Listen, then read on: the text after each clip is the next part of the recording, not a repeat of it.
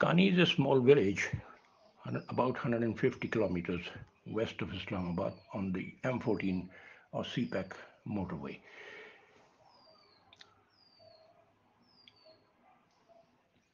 The place is not well inhabited, thinly populated, and as a result of that, there's no light pollution in this region, and this makes it very suitable for astrophotography.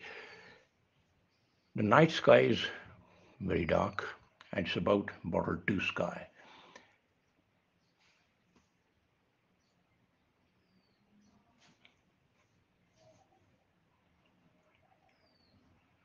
On 14th of May, I planned a visit to Kani, and uh, during this visit, we had very receptive hosts.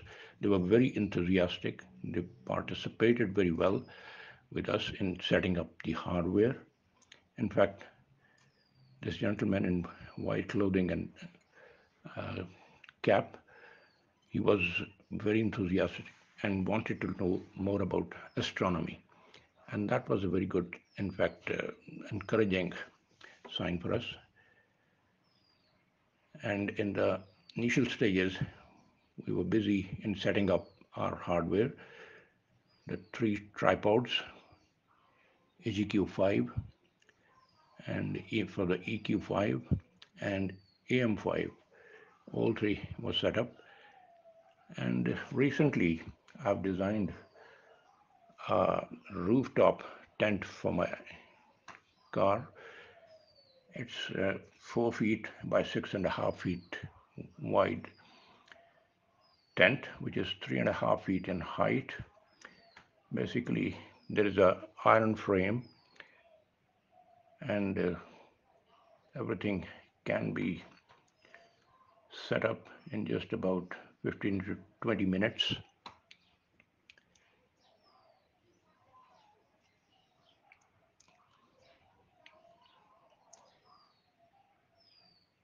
Once these iron rods were fixed, the next step was to place the tent on top of this. And inside the tent, we also have a provision for a table on which we can place the laptop or maybe a small table fan if required. I spent the night in this tent and uh, it, I found it to be very comfortable. And since it is on high ground and there's no real danger of uh, facing insects or other harmful things like snakes, so it can keep you away from these. So this is the table being fixed. And I use this stair which is folding for getting up. And this gentleman in black shalwar kameez, he is my driver. He's a very, very enthusiastic person who's always accompanying me and is a very good help. In fact, he now knows a lot about setting up the hardware. So now we were actually trying to put this tent on top of this frame and this was for the first time that uh, I was using it so it was quite exciting to have it all set up.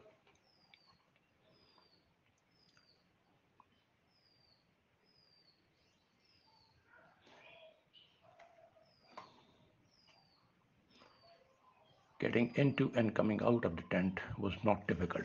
Once the tent was set up, then we were actually again uh, trying to set up the rest of the hardware now this is the HEQ5 mount and the counterweights have been, and this is William Optics 71 GT telescope and this is William Optics Red Cat telescope on top of EQ5 mount.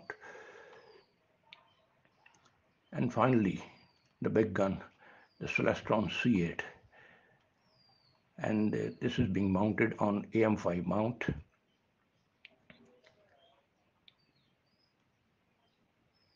uh, I was there. I was, in fact, very excited to try and use and see the results of my recently developed adapter for converting this telescope to f2.0. So initially the second mirror of the telescope is being removed and then this is that adapter which is being now inserted into the telescope and then this is the field flattener 2 inch field flattener.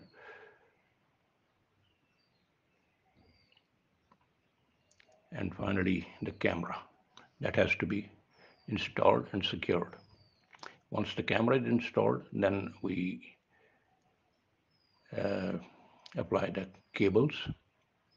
This is the camera cable being connected to the ASI air and the power cable. And finally we, we have to use the dew shield in fact this is not being used for protecting from dew in fact it is for protecting against stray lights now this is the result this is Rho Ophiuchi cloud complex this picture was taken with RedCat 51 using the camera 2600. Now this picture of Trifid Nebula and Lagoon Nebula that was taken with Celestron C8 f2.0. As you can see that depth of image is very clear and the stars are absolutely round almost to the edges.